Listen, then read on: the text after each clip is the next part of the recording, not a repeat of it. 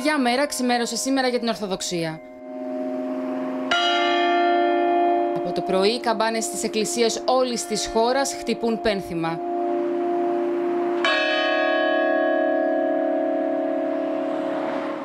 Η Αγία Σοφιά μετατράπηκε σε Ισλαμικό τέμενος και άλλη μια πληγή ανοίγει στον σημαντικότερο ναό της Ορθόδοξης Εκκλησίας. Είναι αλήθεια ότι είναι μια μέρα θλίψης και πίκρας σήμερα για το χριστιανισμό, ολόκληρο το χριστιανισμό, γιατί η Αγία Σοφία δεν είναι ένα μνημείο μόνο που αφορά τους Ορθοδόξους, αλλά είναι η πηγή και η βάση από την οποία προήλθαν όλες οι χριστιανικές εκκλησίες Ανατολής και Δύσης.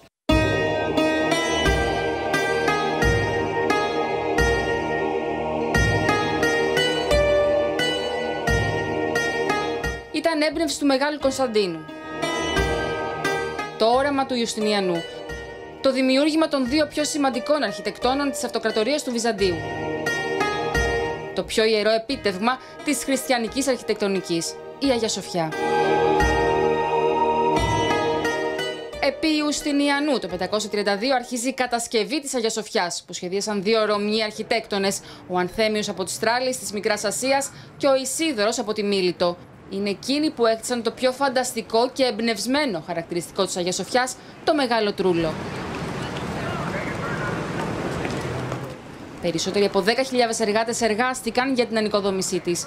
Χρησιμοποίησαν τα πιο ακριβά υλικά, χρυσό, πολύτιμους λίθους, λευκό μάρμαρο, ασίμι και τελικά μέσα σε λιγότερο από 6 χρόνια, ρεκόρ για τα δεδομένα της εποχής, η Αγία Σοφιά θα επαναπροσδιορίζει το κέντρο της χριστιανικής πίστης. Το κολοσιαίο έργο χωρούσε 23.000 πιστούς και υπηρετούσαν 800 ιερείς. Για χίλια και πλέον χρόνια η Αγία Σοφιά θα αποτελέσει το κέντρο της Ορθοδοξίας και της Ρωμιοσύνης. Εκεί ο λαός θα γιορτάσει τους θριάμβους, θα θρηνήσει τις συμφορές και θα αποθεώσει τους νέους αυτοκράτορες.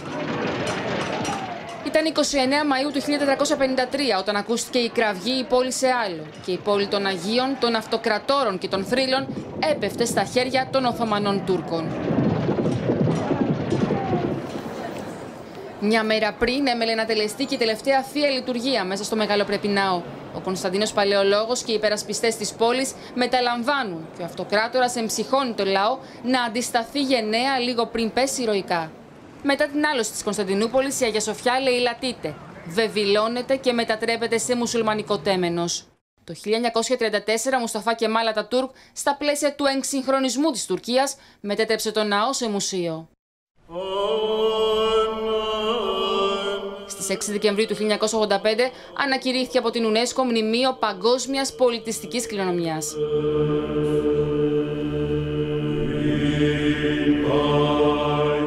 «86 χρόνια μετά γίνεται ξανά τζαμί.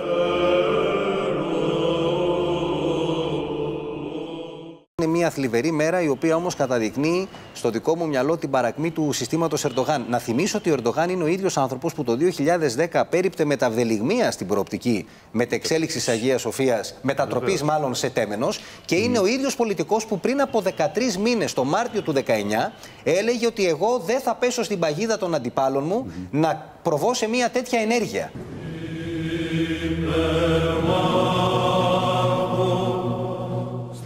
Χτισμένη πάνω σε ένα μικρό ύψωμα, έτσι ώστε να είναι το πρώτο κτίσμα που χτυπάει στα μάτια του επισκέπτη καθώ εισέρχεται από την Προποντίδα, η Αγία Σοφιά είναι ένας από τους μεγαλύτερους ναούς του κόσμου. Ένα πραγματικό θαύμα της βυζαντινής αρχιτεκτονικής και ένα σύμβολο για όλους τους Ορθόδοξους Χριστιανούς. Και αυτό δεν πρόκειται να αλλάξει.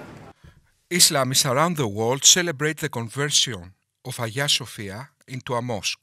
In this video, I will make an objective analysis of the reasons effects and implications of this move. First of all, why that happened? For two reasons. A. Erdogan's micropolitical gain. That was a populist decision to rally his electorate and to misdirect the Turkish people from other issues like the Turkish economy. B. Islamic supremacist ideas.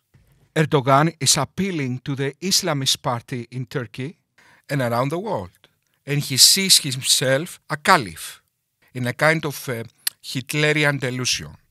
He is an Islamist supremacist. But what is the evidence? The conversion of Hagia Sophia to a mosque is Islamic supremacy. For years now, political analysts were describing Erdogan as an Islamist, diversing the vision of Kemal Ataturk and bringing Turkey back to Islam. So, is it a coincidence after 86 years of Turkish presidents, the Islamist Turkish president converting Hagia Sophia to a mosque? Is it a coincidence? The largest church in Christendom, the Hagia Sophia is a coveted symbol. It was first converted into a mosque well over 500 years ago during the Islamic Ottoman Empire, then turned into a museum by Kemal Ataturk, the founder of modern day Turkey. The 1934 decision to turn Hagia Sophia into a museum was a way of signaling that Turkey was moving from the Ottoman era of sectarianism and hierarchies to a secular republic of equal citizens. And now, with this move, Erdogan is once again asserting Islamist supremacism and domination on Turkey's ethnic and religious minorities. But Erdogan's vision has always been more ambitious than controlling his country.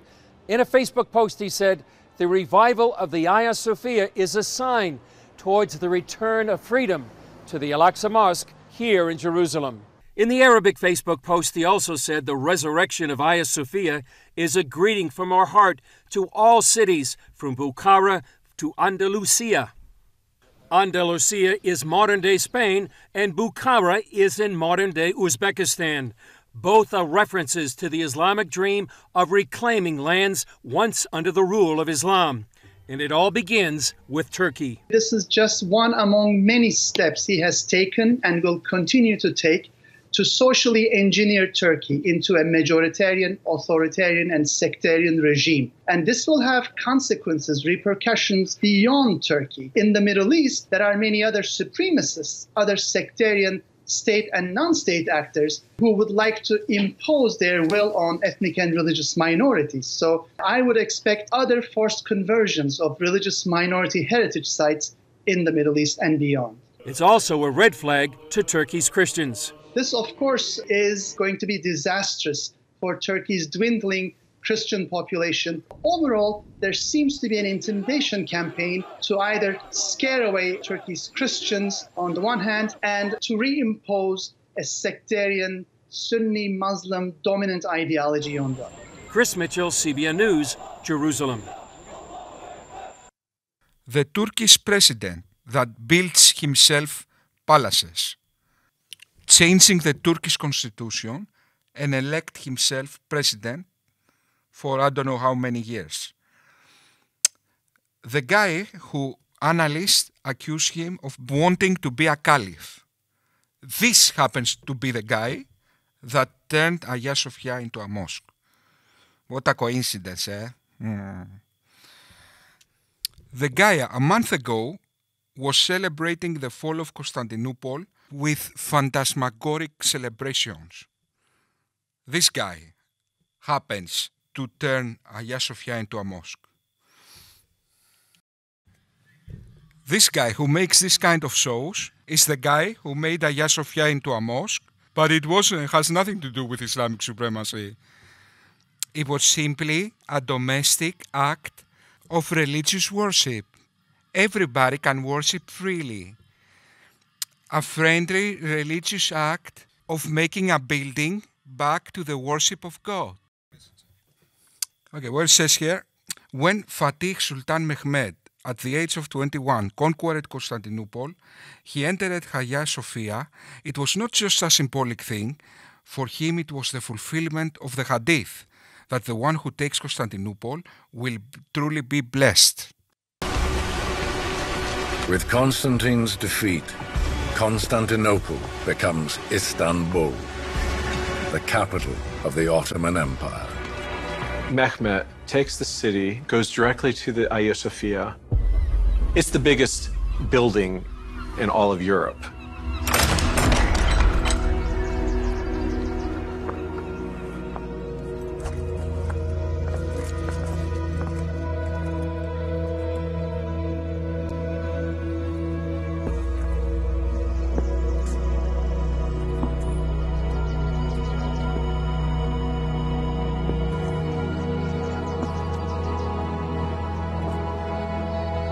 He's even described as walking through the building, walking on top of the domes in order to survey the beauty.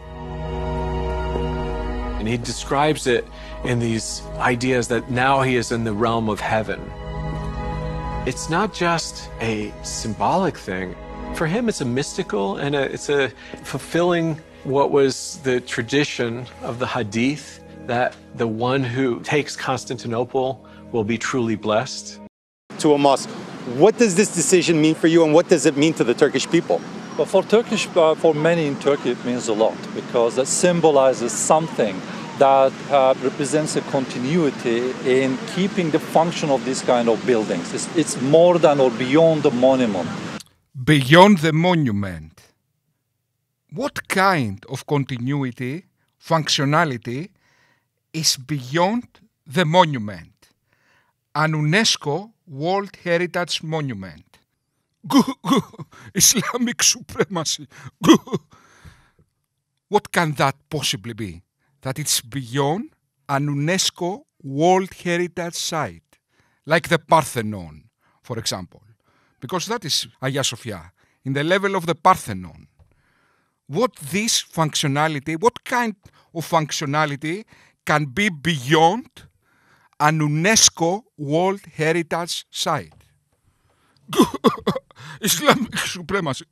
now let's remember in 1453, when Istanbul was taken, a lot of the senior advisors in the Byzantium Empire or Eastern Roman Empire actually uh, uh, hide themselves here. So when the Sultan came, he just said, you know, your lives are preserved, and you know, gave them amnesty, and they in fact continued working under, uh, under the new Sultan. But something the Ottomans did thereafter is very Istanbul, uh, very, unique in Istanbul. This is to say that Hagia Sophia, the Kariye Museum today, of course, Mosque, and then the Zeyrek Mosque. These are very fine architecture from the early Byzantium agricultural examples, 6th, 7th, 8th, and 9th centuries. But all the Ottomans did was to put one or two minarets around and then continue it as a, you know, a place of worship. Because, I mean, uh, because uh, predominantly uh, a Muslim uh, city, of course, these buildings would have no function. But the Ottomans made them again recreation their function. So that's why uh, in 1934, as a gesture to international community, when this place turned into a, a museum, in many minds it remained as a losing its function. Being a museum loses its function. How about the function of a museum? Okay, to the Islamist mind, to the barbarian's mind, to the uncivilized, they think that a museum has no function. And it needs to be a mosque to have a function. okay. So it, as, as uh, in 1970s, it became like an idol for many people that should be open. It's not because uh, Muslims lack place to pray. No, in fact, you have a, the Blue Mosque, a mosque in the size of Hagia Sophia in the same neighborhood. So, yeah. But it represents the continuity of uh, giving, assigning or reassigning their function back. And so this place will be uh, uh, for Muslims to pray, but then will be open for everyone, as President Erdogan said. Yet you put curtains in UNESCO World Heritage icons.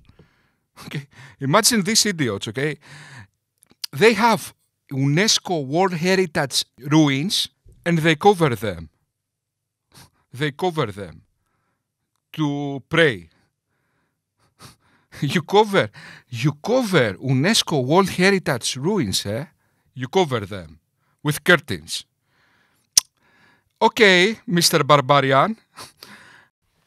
and then you take the most significant Orthodox church in Orthodox history and you make it a mosque. What if we take the most significant mosque in the world? Like, for example, Masjid al Haram and make it an Orthodox church, what, what, how you will feel? Like it's a continuity, eh? Mm. It, the God's word is preached again. This is what you will think. This is what you will think. God's word is being preached again. And you will be happy, eh? Mm. Uh, for everyone to continue visiting, uh, you know, like they do in Sultanahmet Mosque or Blue Mosque, as well as in Suleymaniye. So it's basically reassigning its function in many build minds. So therefore, a lot of people celebrating. They don't want to see this building as a like a very static and just you pay fee to go in. In fact, they say that we inherited this from our ancestors. This is what Hatkikatsu said on Twitter. Alhamdulillah, Friday prayers held at the Hagia Sophia Mosque today. The Imam held a short and gave an excellent sermon in which he delivered these powerful words. Hagia Sophia's reopening to worship means the reinstallment of this holy place, which embraced Muslim for five centuries as a mosque, to its original function. The reopening of Hagia Sophia to worship means all crestfallen and oppressed mosque on earth, first and foremost Mosque Al-Aqsa, to have their hopes up again. The reopening of Hagia Sophia means that our civilization, the foundation of which is Tawhid, the building block of which is knowledge, and the cement of which is virtue, continues to rise. Alhamdulillah. This is what Paul Williams from Speaker's Corner said. Green flags of Khilafah and sword of Islam in Hagia Sophia. Alhamdulillah. So even an English gentleman that converted to Islam sees green flags of the Khilafah and feels happy. And swords. Okay, that is what Islam does to the minds of people. It's a supremacist war cult that inspires to enslave the world. Simple as that. A Christian guy gave them the right answer. Those who live by the sword will die by the sword. قاموا ولو شاء الله لذهب بسمعهم وأبصارهم God's word being preached again at Hagia Sophia Mosque.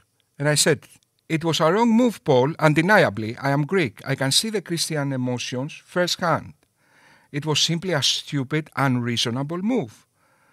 Then a guy comes up and says, What about Muslim emotions on converting Cordoba Mosque to a cathedral? And I said, In Cordoba, you invented Spain again. And it was first a church that you converted to a mosque. And Paul Williams said, You mean liberated? And I said, Spain was liberated. You must be out of your mind. So we see again this Islamic supremacy mindset. Spain, the conquest of Spain, was the liberation of Spain. هو شر مكانا وأضعف جندا ويزيد الله الذين اهتدوا هدى والباقيات الصالحات خير عند ربك ثوابا وخير مردا. أفرأيت الذي كفر بآياتنا وقال لأوتين مالا وولدا اطلع الغيب أم اتخذ عند الرحمن عهدا كلا سنكتب ما يقول ونمد له من Paul Williams says, God's word being preached again at Hagia Sophia Mosque. Really? No. That is the sound of the Hagia Sophia. The true sound. Υπερμάχος στρατηγό τα νικητήρια.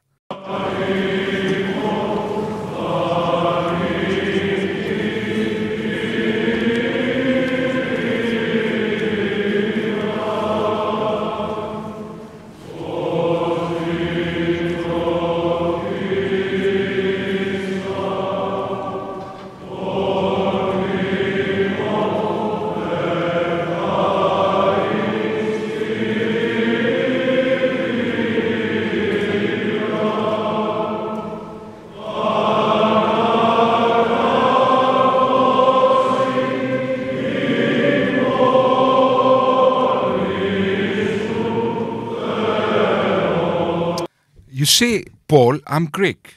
What if, and all, of course, all the other Christians, what if I decide that, wait just a moment, the Hagia Sophia doesn't belong this evil noise. And maybe we should put the real sound in the Hagia Sophia. You know, maybe I'm carried away with your supremacy and I think, hmm, maybe we need to restore Hagia Sophia to the true worship of God. και ζωπιό και αδιαιρέτο τριάδι πάντοτε νυν και αη και εις τους αιώνας των αιώνων.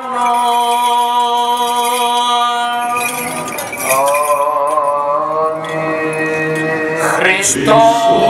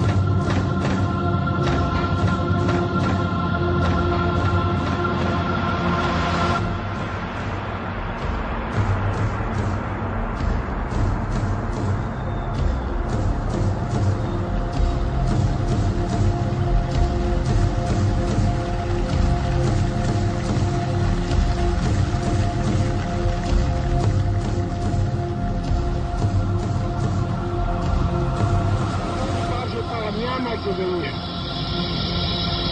tumelia si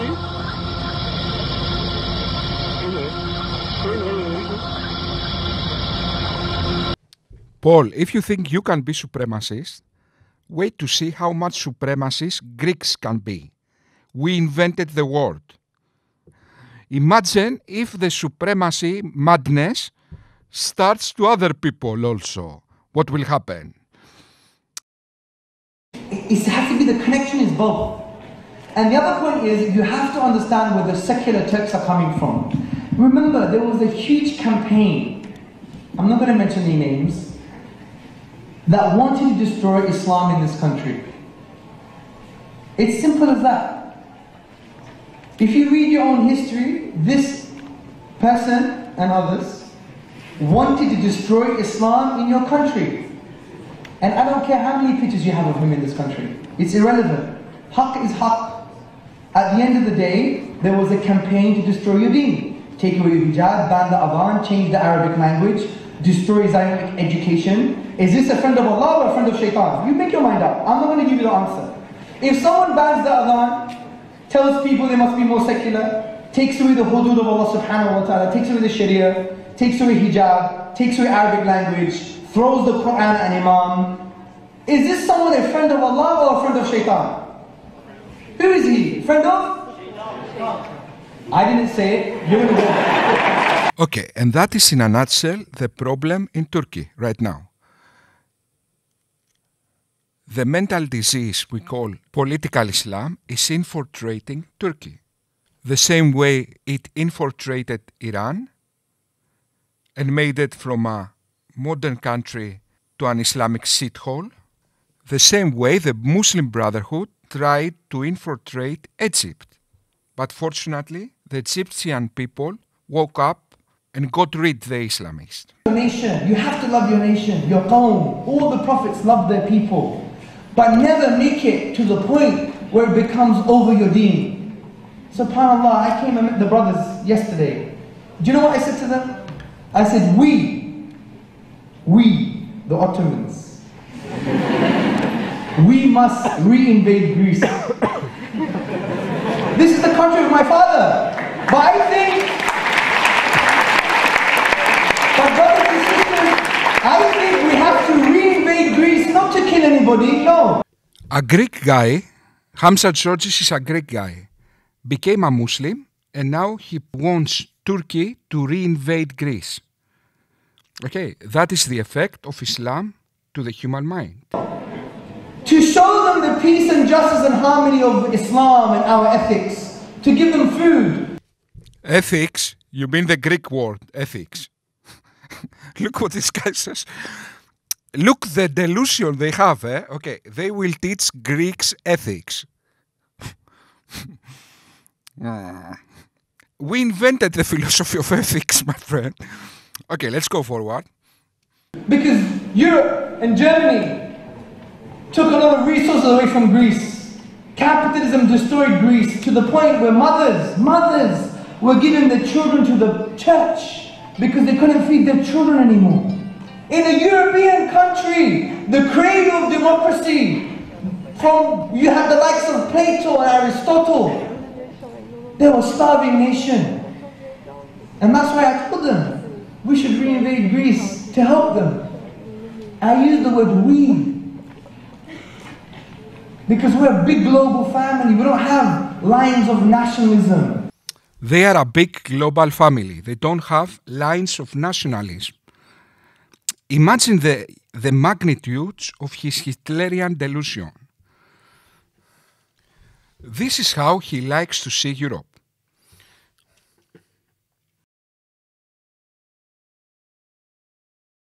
You know, I was looking into history, and in 1890 there was a map written by the Ottoman administrators.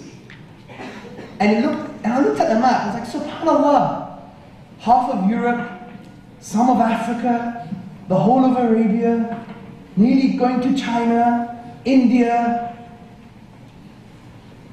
And look, and look at us now. Look at us now.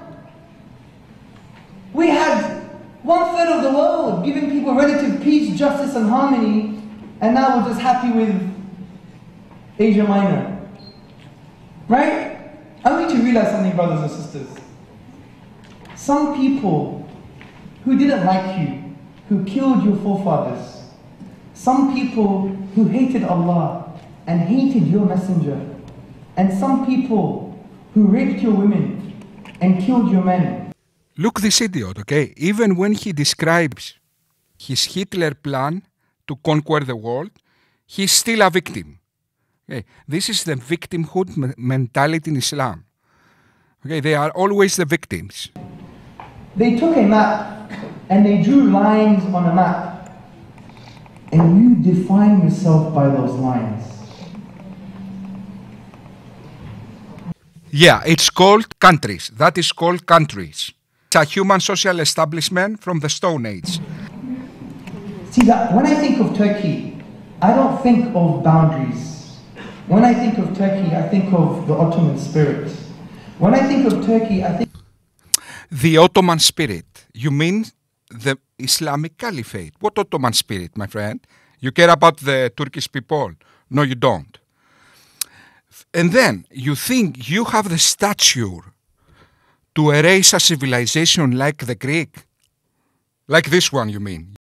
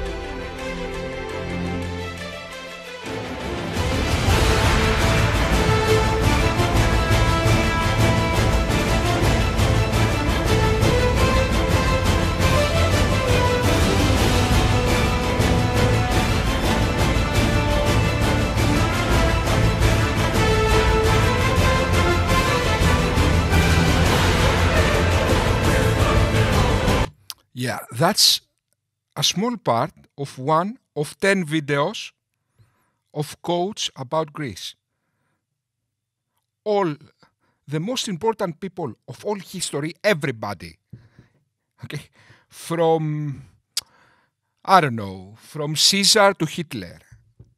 All the most important people in history praised Greece. Everybody, okay? But you will erase this civilization. Why? Even your Quran praised Greece. I don't know, maybe. Yes, it does, with Alexander the Great. He's supposedly one of your prophets. You translated the works of, of Aristotle, some of the works, and you call that your golden age. So, Erdogan continues every day to threaten Greece. He, a few days ago, he arranged his fleet opposite to the Greek islands. He thinks that he will eat Greece like it's uh, a snack. Uh, Erdogan, Greece is the goat. Greece is the goat. Greece is like saying liberty, something like that. Okay? Greece, if you the irony is that even the expression the goat, the golden goat, is from Greek mythology. The irony. And Erdogan thinks that, uh, okay, I will uh, assimilate Greece. Mm.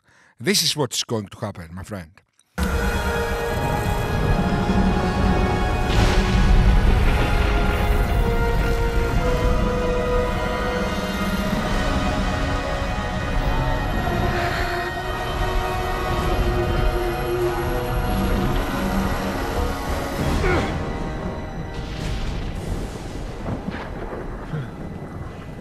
Is it over?